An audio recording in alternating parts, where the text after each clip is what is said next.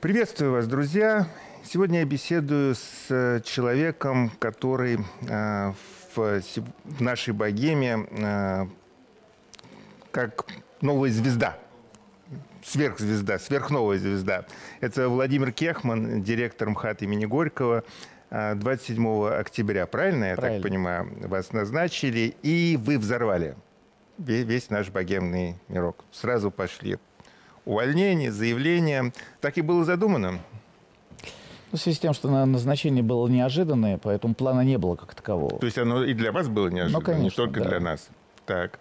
Поэтому плана у меня не было никакого. То есть, э, когда я Эдуарда видел два раза в жизни, с Захаром даже не был знаком, поэтому, когда мы знакомились, собственно... Захар – это Прилепин, да. Эдуард – это Бояков. Совершенно правильно, да. Э, мы поговорили, обсудили, как, мы, когда, как я и когда приеду в театр. Э, и все, собственно, да. И дальше э, я съездил в Минкульт, попросил какие-то документы, чтобы у меня были. В связи с тем, что это в третий раз происходит у меня, когда я принимаю новый театр, у меня есть определенный набор действий, которые я совершаю. Главное из них – это финансовая дисциплина, которая позволяет мне сразу понять, в каком состоянии находится театр. И когда э, я получил смс от главного бухгалтера, что у них на счетах 2 миллиона рублей и платить им нечем зарплату, конечно, меня это удивило. И мы встретились еще раз 28-го уже с Эдуардом, уже непосредственно в театре, и с э, исполняющим, исполняющим обязанности генерального директора Михайловым Олегом, которые попытались мне рассказать, где деньги, но не смогли этого сделать. Поэтому в этот день как раз мне пришлось уволить сразу Михайлова, а дальше уже мы расстались уже с Эдуардом, потому что работать ну, в, в той ситуации, в которой я увидел, что происходит с финансовой дисциплиной, с этими людьми не, не представляло никакого, ну, никакой смысла никакого. Эдуард снес сам себя, а, потому что то, что происходило, так я понимаю, на протяжении последних ну, как минимум последнего года, да, ну, то, что вот я вижу, это, наверное, трудно себе представить, что в центре Москвы это вообще в принципе возможно. Поэтому мне а кажется, что, что, что такого вот кажется, невозможного? Скажите ну, мне, Владимир. Э, то, что на сегодняшний день в театре был такой очень серьезный конфликт между теми людьми, которые работали с Эдуардом, и теми людьми, которые работали с Дорониной. А, на первом собрании, например, такая есть Лидия Матасова, знаменитая актриса, по-моему, народная артистка она, могу ошибаться, да. Ее заставляли, например, она сама преподает речь, сама, я не помню, в каком из э, учебных заведений, а ее заставляли ежедневно приходить и э, э брать уроки речи. Ну, то есть это был такой ну, это слив был, или... Вы это, понимаете, это, это было э, попирание всех мыслимых и немыслимых театральных традиций. Или, например, ко мне подходили, например, режиссеры и говорили, что он заставлял их просто менять тексты в своих же спектаклях. Он заставлял, менял мизансцены в спектаклях Дорониной, при живой Дорониной. Это такие вещи, которые делать, наверное, все-таки нельзя. Главная э, история, которая э, и противоречие, которое на сегодняшний день существовало и в коллективе, вообще в позиционировании театра, это то, что э, те режиссеры и та эстетика, которая, пригла... ну, как бы, которая э, соответствовал Эдуард, она очень не соответствует МХАТу, мне кажется, в принципе своем. И когда первый разговор, он все время говорил МХАТ, МХАТ, МХАТ, я ему спросил, Эдуард, я же вообще его не могу воспринимать серьезно как режиссера. Он для меня вообще в этом плане никто. Он продюсер, да, ну, как успешный, неуспешный, это не имеет никакого... Но он никакой не режиссер. А, а оказалось, что он, оказывается, там уже режиссер. Я этого не знал просто. И а, мы когда с ним разговаривали, он все время МХАТ, МХАТ, МХАТ. Я говорю, ты объясни мне, ты какое имеешь отношение к МХАТу? Где ты и где МХАТ? А ответа не смог он дать мне на этот вопрос, поэтому э, это мое такое чисто субъективное мнение. Все-таки огромная сцена, огромный зал. И подразумевается то, что все-таки это театр большой формы.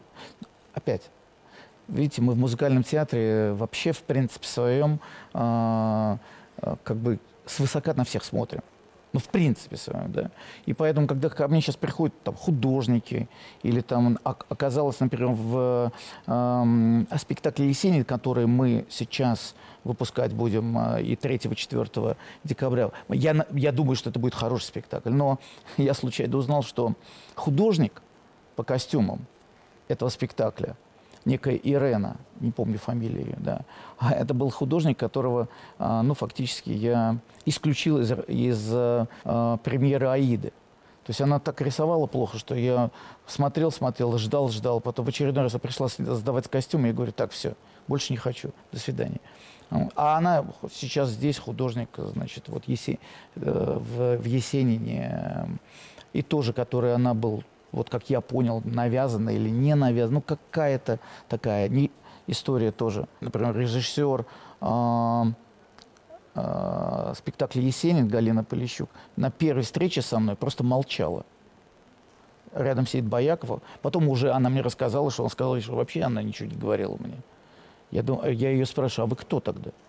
Вы почему молчите? Говорит, я режиссер. Он постоянно попытался ее что-то там поправлять. Я говорю, подожди, ты молчи, сиди, расскажите мне, о чем спектакль, история спектакля. Когда вот надо было принимать решение, оставлять его или нет. Ну, потому что просто нету денег. А Галина а... Полищук интересная такая девушка. Она была выгнана фактически из Латвии. И она работает сейчас в России. Мне ее все отрекомендовали. Очень хороший драматург. Выгнана за что? За, какую, за свою пророссийскую позицию. А, то есть Да, она, она хорошая такая. Мне она очень нравится. Сейчас она раскрылась, живая. Там же их э, не давали ну, там огромное количество не давали репетиции делать ей, потому что там в спектакле заняты были артисты. Много приглашенных артистов. Сейчас вот надо решать вопрос, как э, из съемочного процесса, который идет у Екатерины Волковой, ее забрать, чтобы они отдали нам ее на 1 2 на вот эти вот два дня, 1 2 декабря, потому что 3-4 премьера, 1 2 ну, заключительная репетиция будет, а у нее занято это время. Целая история. Для нас для нас. Когда вы говорите для нас, кого вы имеете Я в виду? имею в виду для нас, людей музыкального театра. Угу. Это просто, просто беспрецедентный случай. Например, а, не было такого понятия, как режиссерское управление в театре МХАТ. Не было такого э, понятия, как расписание на месяц вперед. У них на день вперед не было расписания у артистов. Они не знали, на следующий день будут они как-то заняты или не будут. Ну, я вот рассказываю вам такие подробности, которые поверить в это невозможно. Просто невозможно что, ну. это, что это сегодня в 21 веке великий, а, ну его по-другому не назвать, не буду, ладно, великий менеджер, сейчас его называют там разные люди, которые защищают его, что он продюсер, менеджер, в принципе мог довести академический огромный театр в эту точку, в которой мы сейчас находимся. В телеграм-каналах пишут, что, э, ну, цитирую буквально, что э, Кехман смог убрать э, Байкова, потому что тот э, абьюзер. Это правда? Я не знаю, как ответить на этот вопрос, потому что у меня... Для меня это вообще не имеет никакого значения. Что, для вас тогда имеет значение, скажите? Меня имеет значение... Только деньги? Нет, только зритель. Так. Для меня имеет значение только зритель. То есть э, мои взаимоотношения в театрах, они основаны только осо- э, в создании собственного зрителя. То есть у меня с одной стороны зритель, с другой стороны собственная коллекция э, театра, которая отражает лицо там, Михайловского театра или там, Новосибирского театра. Дело в том, что э, при Татьяне Васильевне Дорониной в 2015 году было 345 тысяч зрителей.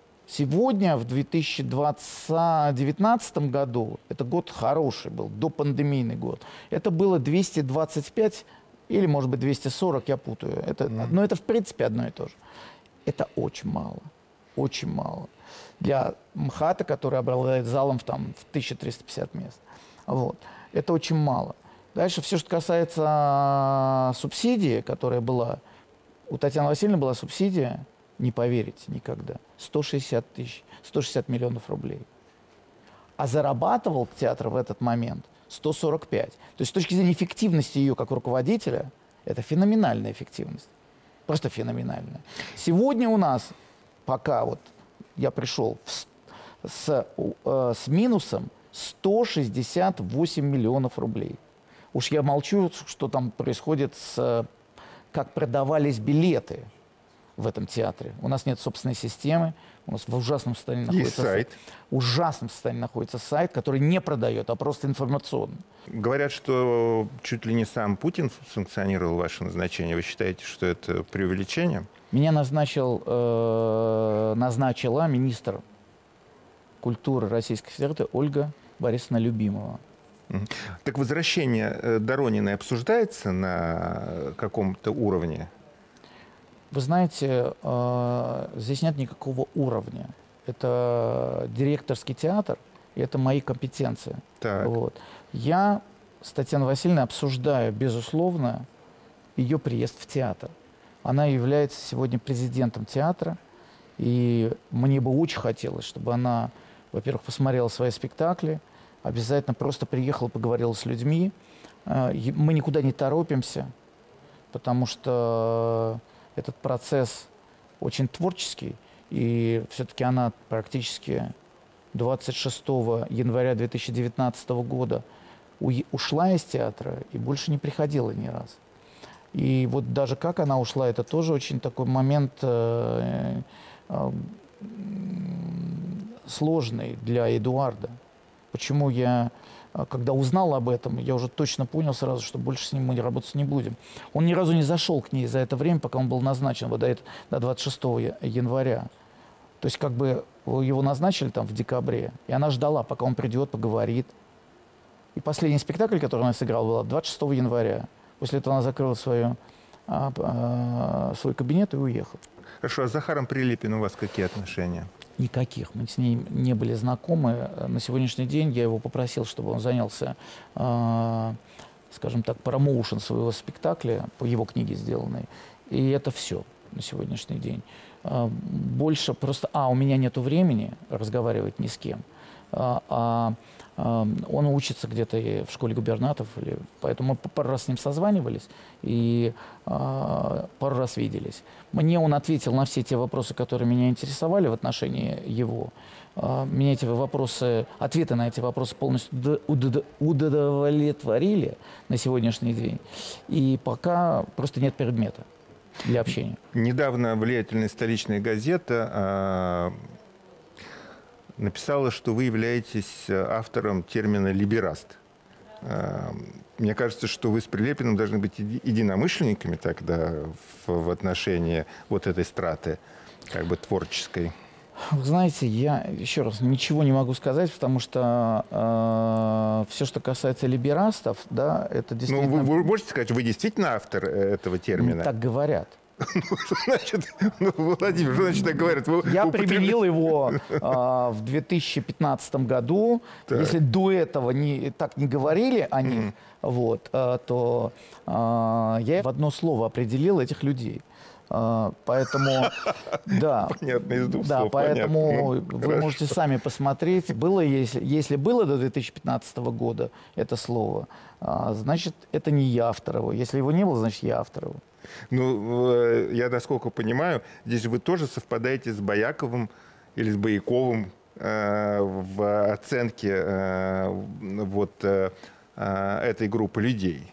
Э, вы знаете, так я вам честно скажу, что я никогда не разделяю ни с кем своих убеждений. Вас характеризуют как э, воинствующего православного. А, Александр Глебович Невзоров употребляет такой термин, как православие головного мозга. Вы, вы наверное, слышали, когда он в отношении э, Березовского впервые употребил этот термин. Это отразится как-то на политике э, театра, вот э, ваши убеждения эти?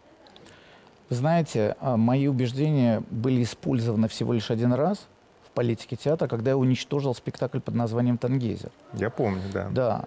Э, это была моя действительно личная позиция. Если бы мне представилось это сделать еще раз и еще раз, я бы сделал, поступил бы точно так же. Поэтому все, что касается, э, в принципе, своем моего отношения к, и моих взаимоотношений с Богом и с церковью, они очень точно описаны, как Господь сказал в Евангелии. Значит, если ты хочешь помолиться Богу, ты зайди, закрой дверь и наедине помолись Богу, и все, что в тайне, тебе Бог даст явно.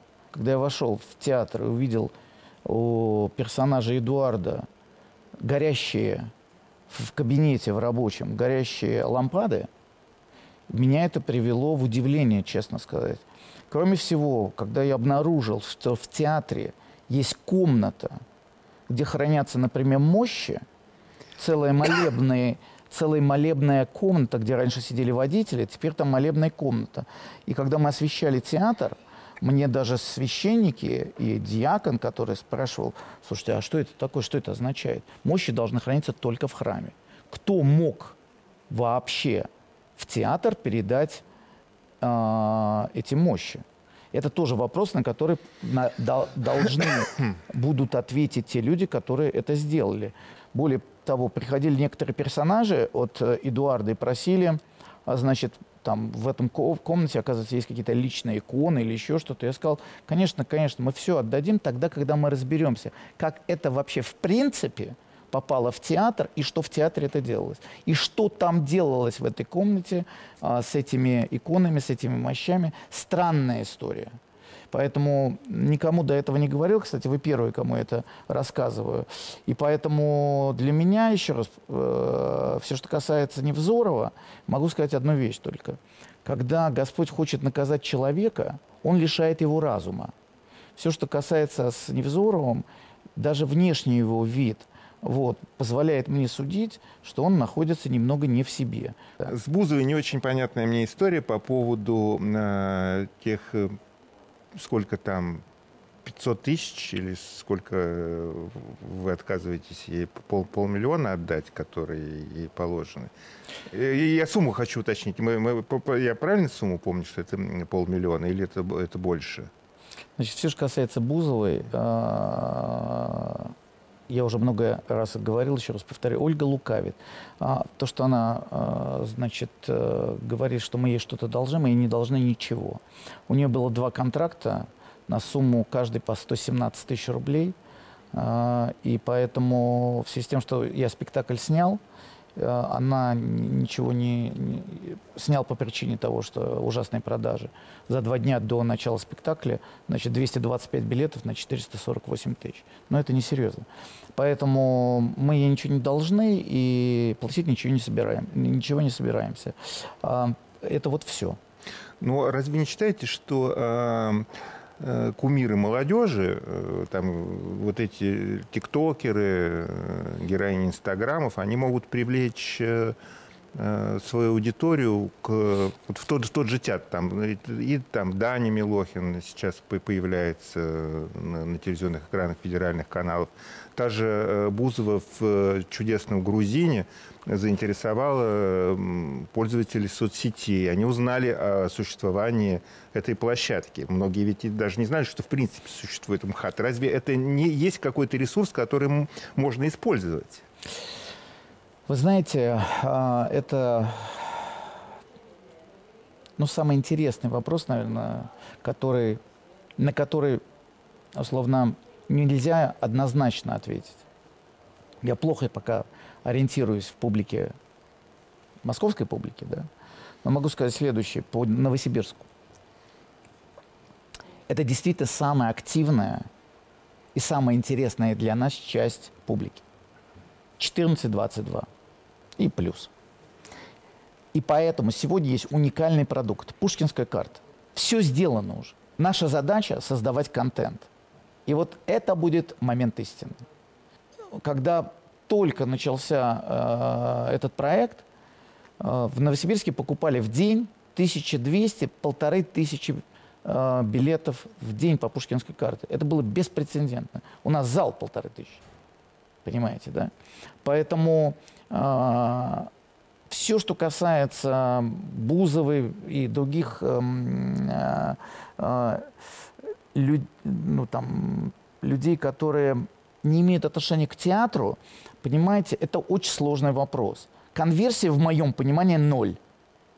То есть Цискоридзе, да, он человек, который сегодня по эффективности номер один в России. Театр все-таки, как вы понимаете, это не концерт и это не кино. Театр это все-таки история просветительская. в первую очередь. И ты должен над собой делать усилия для того, чтобы пойти и не то, что прийти даже, прийти и высидеть все-таки там два часа хотя бы, да. Поэтому здесь очень важный момент, что мы, э, вы знаете, у меня есть понятие такое, такое достиженцы, это те люди, которые, та молодежь, которая вот участвует во всех этих конкурсах, вот этот э, Ксения Разуваева, которая Росмолодежь, вот они достиженцы. А есть шантропа, да, которые сидят просто дома, и вот они условно, вот они меня интересуют очень сильно. Я хотел бы для них, чтобы они попробовали там, выйти и попробовали прийти в театр. Мне кажется, им понравится очень, потому что ими сейчас никто не занимается. Вот то, что там условно а, там, я воспитывался на улице, была вероятность того, что мы можем пробиться как-то. У них на сегодняшний день, понимаете, вот этот вот э, контент, который они получают в интернете, он такая очень сложная, ну, в моем понимании. Потому что я а, отец пятерых детей, и я вижу по своим детям, и маленьким, и взрослым, им очень тяжело, прям реально очень тяжело ориентироваться в сегодняшней жизни. У ваших детей тоже есть Инстаграм?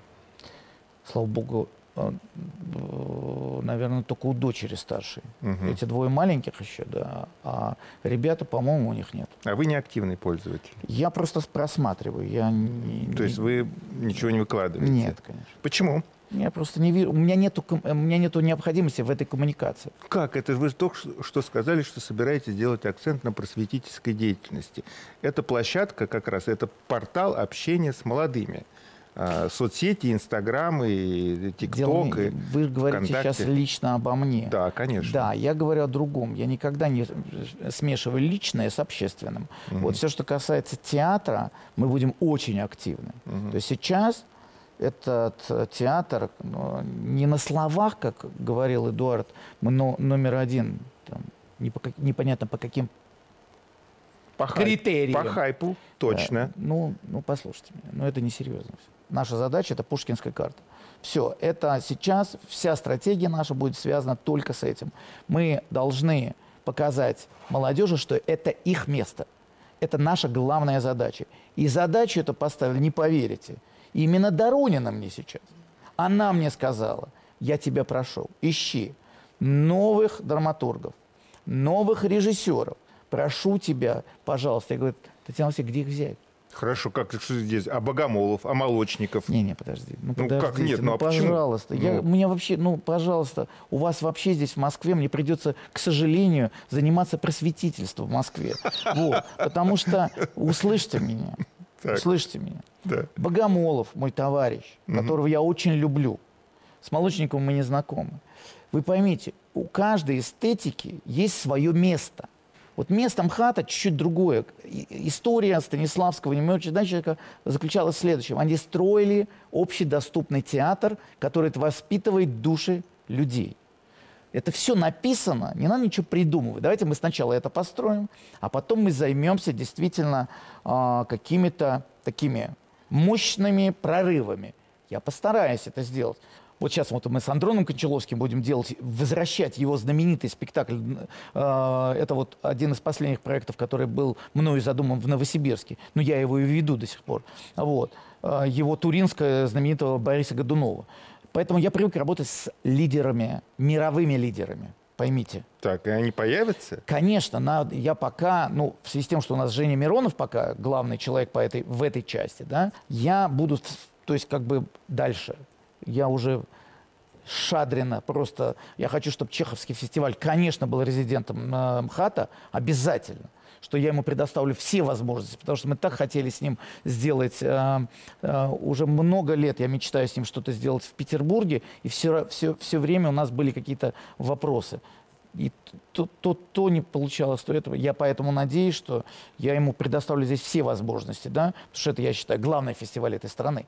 Вот, никакая золотая маска, близко. А все, что касается, еще раз повторяю вас, это не ненавистное мне слово хайп, это не про нас, нам это вообще не нужно, это не стоит ничего. Я имею в виду про ту эстетику и тех людей, которые находятся вокруг меня, понимаете? Это и молодые, с одной стороны, перспективные там дирижеры, режиссеры – сценографы. А с другой стороны, классические те люди, которые работали всю жизнь в этом театре, в МХАТе, я обязан, 92 человека, я обязан предоставить им работу. А, Если Доронина э, не сможет э, или не захочет вернуться, кто? У меня есть кандидатура, которого я понимаю. Да. Ну, Я- я- назовите. да, нет, конечно, я не назову его. Вот. У меня есть кандидатура, которая точно справится, А, но сейчас это не предмет даже, не предмет обсуждения художественного руководителя. Дело в том, что театр А разграбили, Б 50 лет не было ремонта вообще никакого. Ну, там мазали, подмазывали что-то. Ну, ремонт будет, я так Вот. понимаю. Я судя по- очень надеюсь, что мы тому. следующим, за следующие два года к 125-летию сделаем шикарный ремонт. Я все понял. Да. Владимир, я все понял. А, надеюсь, что и зрители тоже что-то поняли из нашего сегодняшнего разговора с Владимиром Абрамовичем Кехманом, новым директором ХАТ имени Горького. Надеюсь, что это не последняя наша встреча. Надеюсь, и очень в, послед- в последний момент скажу, что я очень надеюсь на помощь Москвы, которая, почему я сюда пришел, чтобы на, без, ва- без Москвы мне не справиться. Ну что ж, Москва с вами, поскольку вы в Москве. Спасибо вам. Спасибо большое.